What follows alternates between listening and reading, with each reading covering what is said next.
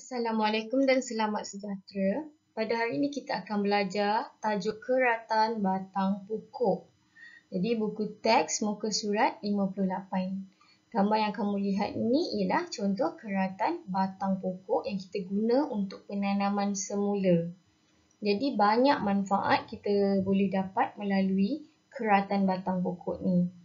Okay. Jadi kita kena baca dulu buku teks muka surat 58. Hanif telah ditugaskan untuk membuat persembahan tentang jenis keratan batang pokok.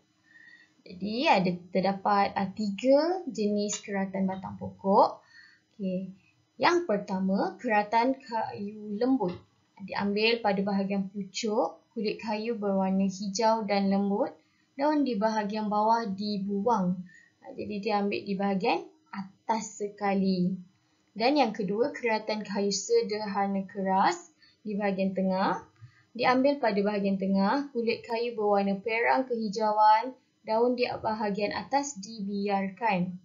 Dan yang ketiga ialah keratan kayu keras.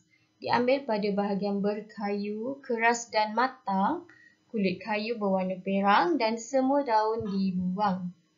Jadi apa kamu perlu buat ialah kamu perlu membaca, mempersembahkan label iaitu uh, info berkaitan keratan batang pokok ini.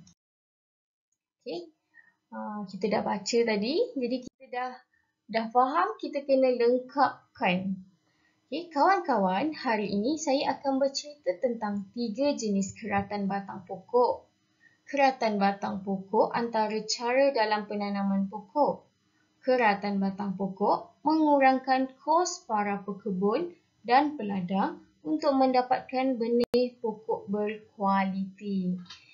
Ha, jadi kamu kena lengkapkanlah yang bertanda ni. Keratan batang pokok. Ha, okay. Kita tengok.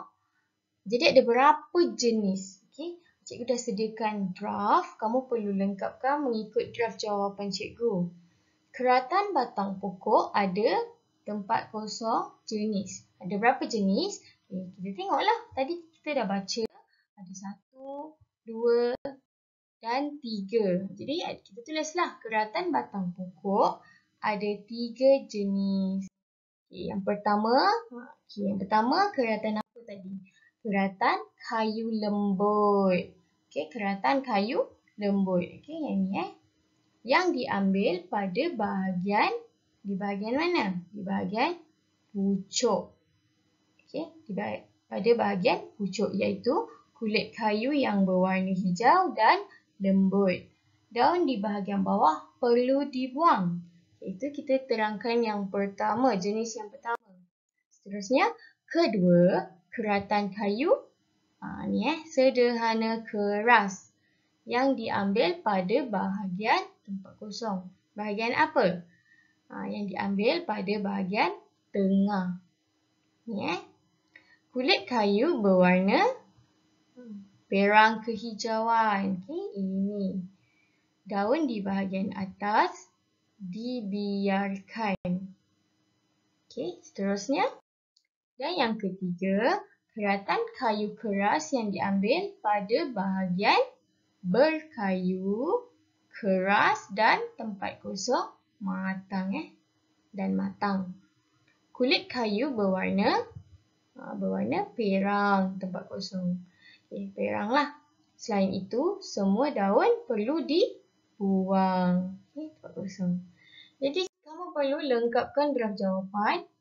Buat seperti ini, tulis semula di dalam buku tulis bahasa Melayu. Okay, kamu perlu lengkapkanlah seperti ini.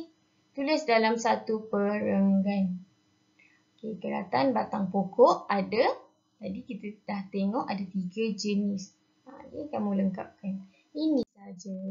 Sekian terima kasih.